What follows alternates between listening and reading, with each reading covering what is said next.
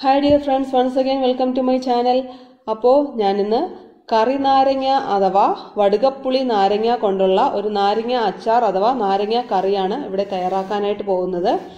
അപ്പോൾ ഇതൊക്കെ എല്ലാവരും ചെയ്യുന്നത് തന്നെയാണ്. ഓരോരുത്തരും ചെയ്യുന്നത് ഓരോ രീതിയിലാണെന്നുള്ളൊരു വ്യത്യാസം മാത്രമേ ഉള്ളൂ. അപ്പോൾ ഈ ഒരു രീതി കൂടി നിങ്ങളൊന്ന് ട്രൈ ചെയ്ത് നോക്കൂ. നിങ്ങൾക്ക് ഇഷ്ടമായാൽ ലൈക്ക് ചെയ്യൂ. അപ്പോൾ വീഡിയോയിലോട്ട് കിടക്കുന്നതിന് മുന്നേ ഒരു കാര്യം കൂടി ഒന്ന് പറഞ്ഞോട്ടെ? ലാമിംസ് കിച്ചൻ ആദ്യമായിട്ട് കാണുന്നവരാണെങ്കിൽ ഒന്ന് സബ്സ്ക്രൈബ് ചെയ്തേക്കണേ. അപ്പോൾ നമുക്ക് വീഡിയോയിലോട്ട് കിടക്കാം. ഇതെങ്ങനെയാണ് തയ്യാറാക്കി എടുക്കുന്നതെന്നും ഇതിനാവശ്യമുള്ള സാധനങ്ങൾ എന്തൊക്കെയാണെന്നും നോക്കാം. അപ്പോൾ ഈ നാരങ്ങ കറി റെഡിയാക്കി എടുക്കാൻ വേണ്ടിയിട്ട് ഞാൻ ഇതുപോലെ ഒരു നാരങ്ങ അവിടെ എടുത്തിട്ടുണ്ട്. പിന്നെ എട്ട് പച്ചമുളകും എടുത്തിട്ടുണ്ട്.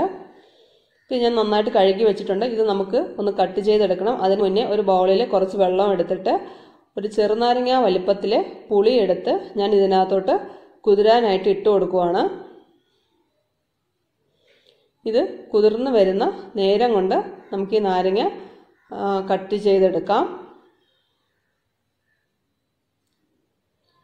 അപ്പോൾ ഞാൻ തീരെ ചെറിയ പീസായിട്ടല്ല ഇച്ചിരി വലിയ പീസായിട്ടാണ് കട്ട് ചെയ്യുന്നത്. അപ്പോൾ ഈ നാരങ്ങയുടെ സ്കിന്ന് നമുക്ക് റിമൂവ് ചെയ്യേണ്ട ആവശ്യമില്ല. സ്കിന്നോട് കൂടി തന്നെയാണ് നമ്മൾ ഈ നാരങ്ങ കട്ട് ചെയ്തെടുക്കുന്നത്. അപ്പോൾ നമ്മൾ ഈ നാരങ്ങ കട്ട് ചെയ്യുന്ന ടൈമിൽ ഇതിനകത്തുള്ള ഈ സീഡൊക്കെ നമ്മളൊന്ന് റിമൂവ് ചെയ്ത് കൊടുക്കണം. നമ്മൾ കറി തയ്യാറാക്കുന്ന ടൈമിൽ ഈ സീഡൊക്കെ അതിനകത്ത് കിടന്നു കഴിഞ്ഞാൽ ഈ അച്ചാറിന് ഒരു കയ്പ്പ് ടേസ്റ്റ് വരും. ഇതെല്ലാം ഒന്ന് കട്ട് ചെയ്തെടുക്കാം. എല്ലാം ഇവിടെ കട്ട് ചെയ്തെടുത്ത് വെച്ചിട്ടുണ്ട്. ഇനി നമുക്ക് ഇത് എങ്ങനെയാണ് അച്ചാർ ഇടുന്നതെന്ന് നോക്കാം.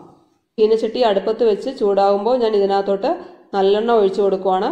അച്ചാർ ഇടാനൊക്കെ നല്ലെണ്ണയാണ് നല്ലത്. നല്ലെണ്ണ ഇവിടെ ചൂടായിട്ടുണ്ട്. ഇതിലേക്ക് അരിഞ്ഞു വെച്ചിരിക്കുന്ന പച്ചമുളക് ഇട്ട് കൊടുക്കാം. ഇത് ചെറിയ തീയിൽ ഒരു ഒരു മിനിറ്റോളം ഒന്ന് വഴറ്റി കൊടുക്കാം.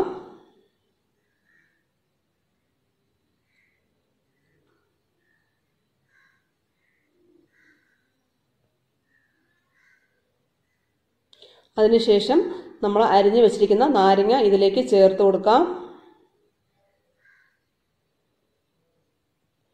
ഫ്ലെയിം നല്ലതുപോലെ ലോ ആക്കിയതിന് ശേഷം ഒരു അഞ്ച് മിനിറ്റ് നമുക്ക് ചെറിയ ഫ്ലെയിമിലിട്ട് ഈ നാരങ്ങ ഒന്ന് വഴറ്റിയെടുക്കാം.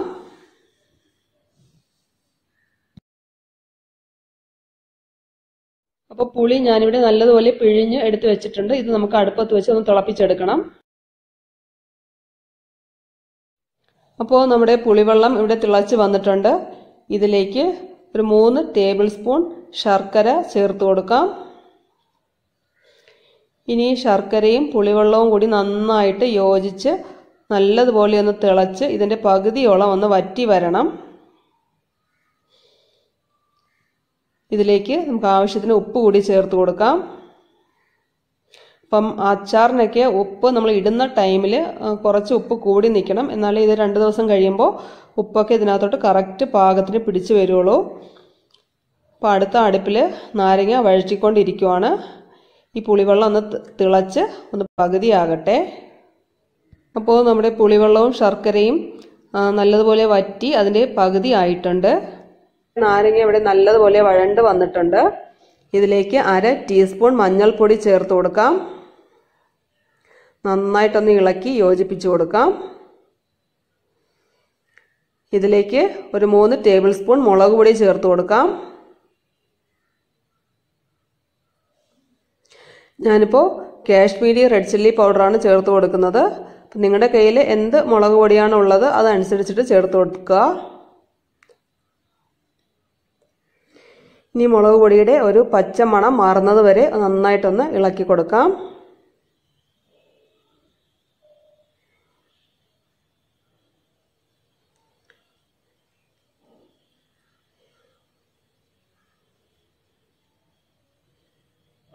ഇതിലേക്ക് അര ടീസ്പൂൺ കായപ്പൊടി ചേർത്ത് കൊടുക്കാം.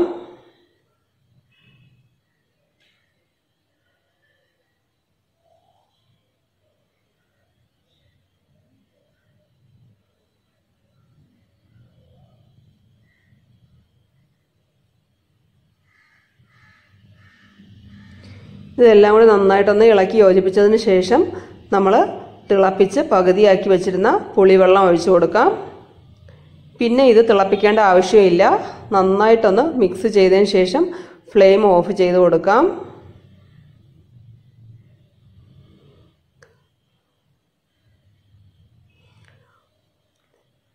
ഉപ്പൊന്ന് നോക്കി കൊടുക്കാം.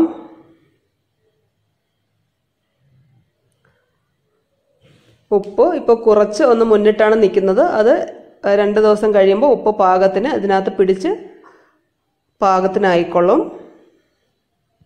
നാരങ്ങാക്കറി തയ്യാറായിട്ടുണ്ട്. നമുക്കിനി ഇതിലേക്ക് കടുക് വറുത്തിട്ട് കൊടുക്കാം. ഒരു ചീനച്ചട്ടി അടുപ്പത്ത് വെച്ച് അതിലേക്ക് നല്ലെണ്ണ ഒഴിച്ചു. ചൂടാകാനായിട്ട് വെക്കാം. ചൂടായിട്ടുണ്ട്. നമുക്കിതിലേക്ക് ആവശ്യത്തിന് കടുക് ഇട്ട് കൊടുക്കാം.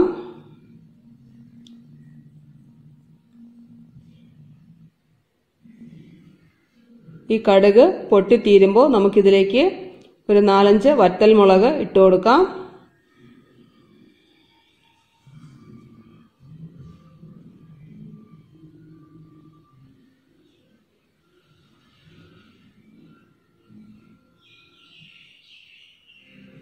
ആവശ്യത്തിന് കറിവേപ്പിലയും കൂടി ചേർത്ത് കൊടുത്ത് എല്ലാം കൂടി നന്നായിട്ടൊന്ന് മിക്സ് ചെയ്ത് അത് നന്നായിട്ടൊന്ന് മൂത്ത് കഴിയുമ്പോൾ നമുക്ക് നാരങ്ങാക്കറിയിലേക്ക് ഒഴിച്ച് ഇളക്കി കൊടുക്കാം.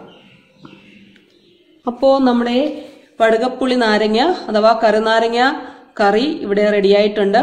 ഈ വീഡിയോ നിങ്ങൾക്കെല്ലാം ഇഷ്ടമായി എന്ന് വിചാരിക്കുന്നു. നിങ്ങൾക്ക് ഇഷ്ടമായ ലൈക്ക് ചെയ്യുക നിങ്ങളുടെ ഫ്രണ്ട്സിനോ റിലേറ്റീവ്സിനോ ഈ വീഡിയോ ഷെയർ ചെയ്ത് കൊടുക്കുക.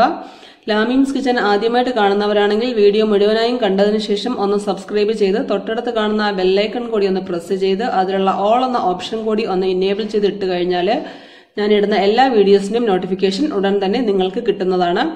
അപ്പോൾ പുതിയൊരു വീഡിയോമായി കാണുന്നവരേക്കും എല്ലാവർക്കും അസ്സാം വലൈക്കും see you soon on another video till then take care bye